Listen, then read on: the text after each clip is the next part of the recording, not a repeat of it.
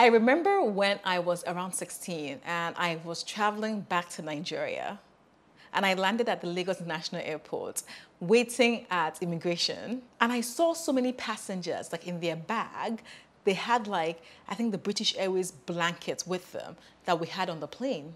I wondered, uh, are these blankets free? Maybe I should have taken mine too. Hi guys, welcome back to my channel. If it's your first time here, welcome. In today's video, I'm gonna be talking to you about the items, right, that passengers take with them when they leave a plane that are actually considered stealing. Like taking these items off the plane is actually considered stealing, theft. This video isn't really speaking to specifically Nigerians or Africans. It speaks to everyone, Caucasians, Asians, because this stealing or taking things off a plane knows no race. But I'm here to inform and educate my own people. Before we get started, why do people steal or should I say just take these, you know, forbidden items off the plane? I think mostly one of two reasons why I think they do this. I think number one, a lot of people are actually not aware that they shouldn't take these items off. It's just they're not aware. They just don't know. They don't know better. On the other hand, I feel like some people know that these items shouldn't be taken off, but they think about it like, uh-uh, am I, if I'm paying maybe a thousand five hundred pounds for a direct flight from Lagos to London, and you tell me the blanket is not included, eh? Then what is included? Because it can't just be the flight, you know what I mean? I did some research, asked some air hostesses and some airport workers to let me know what items specifically are you allowed to take off the plane with you and what you can't and shouldn't.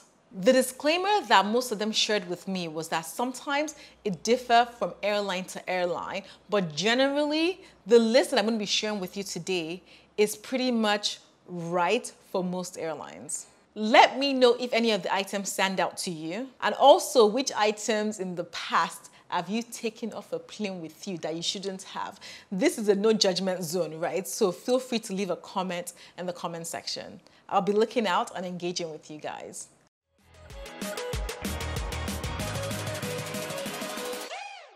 Number one, blanket duvet.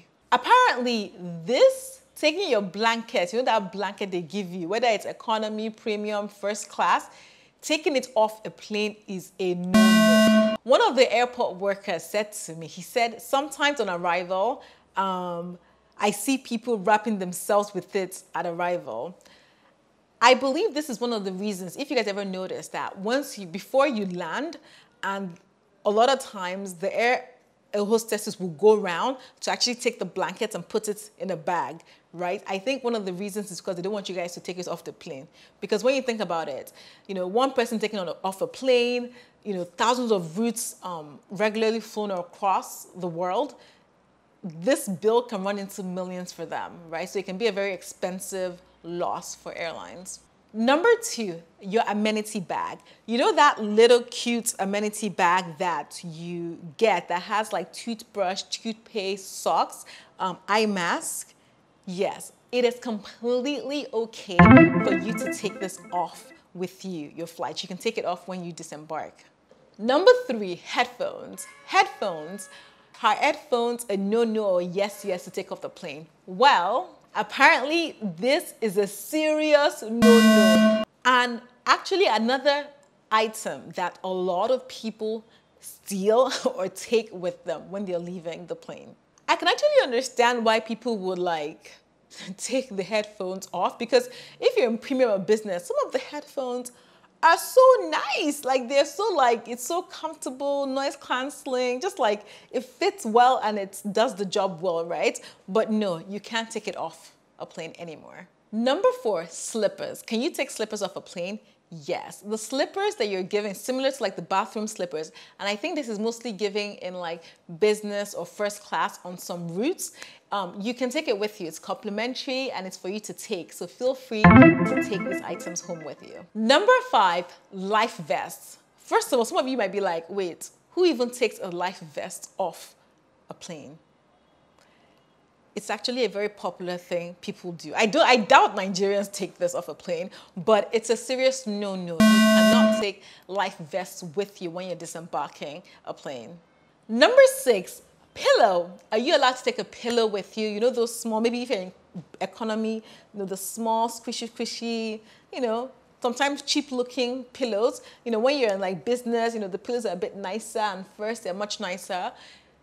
Regardless of cabins that you're traveling in, it's a clear no-no. You're not allowed to take a pillow with you when disembarking. Number seven, pajamas. Well, some of you might be like, pajamas. Do they even give pajamas on flights? Yes, especially if you're flying some long haul business or most likely even first class, right? Cabins, you tend to be given a pajamas with you. This pajamas is actually a gift right, to you. So they're very happy for you to take it with you when you're disembarking the plane. So, yes. Number eight, earplugs, right? So those, you know, like, should I say cheap looking earplugs? Because they're cheap looking, to be honest. And they don't really block any noise. Apparently, you can take those home with you to be honest, I'm not sure how useful it will be for you at home, given the fact that most of us in this day and age actually use, you know, Bluetooth wireless enabled earphones. Number nine, safety cards. You know those safety cards that, you know, have instructions on, you know, in case of an emergency, what to do and what not. This is a serious. It shouldn't be taken with you, not even as a souvenir, as it has a huge safety impact for passengers.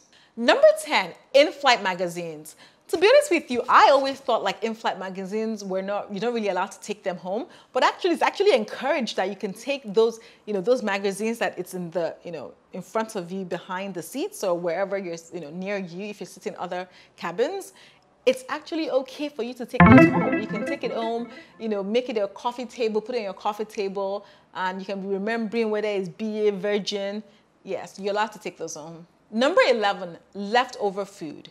In case you have, you know, you didn't have your breakfast, you didn't have, um, and you were given it and you didn't finish it on the plane, can you take it home? If you've given, if you've been given alcohol, snacks, Yes, this is an okay. You're allowed to take it with you off the plane. The only caveat I would say here is there's some countries out there whereby they're very sensitive with regard to, for example, you, you bringing fruits into the country, right, or certain food items. So just be wary because there might be some restrictions by the country you're going to with regard to food. But from the airline's perspective, if you have leftover food, why you want to take it with you, you are allowed to take it with you. And of course, this actually helps wastage, right? So it's very much encouraged if you want. The final item in the list is tableware. Tableware, I know I mentioned before that you're allowed to take leftover food, but that doesn't necessarily mean that you can carry what the food is on with you. Tableware, it depends, right? For example, if your cutlery, your knife and fork and spoon is plastic, that is okay for you to take with you off the flight if you want. But if it's more like ceramic and metal and glass, right? It's a serious no-no. You should not take it with you.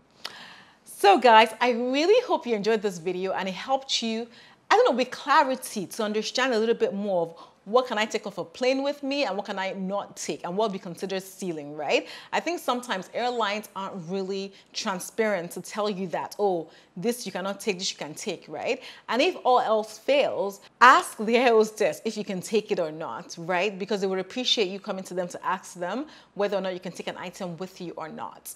Um, I really hope this video has been super useful. I want to hear your thoughts on you know, what you feel about this topic in general. If any particular item that you thought, ah, I've been seeing that for years, Funke, I didn't even know. You know what I mean? Let me know in the comment section below. Thank you for your support and love as always. And I will see you on my next video. Bye.